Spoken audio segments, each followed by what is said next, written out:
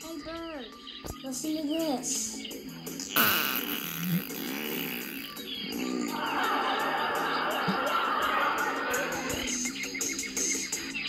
It's the ladybug.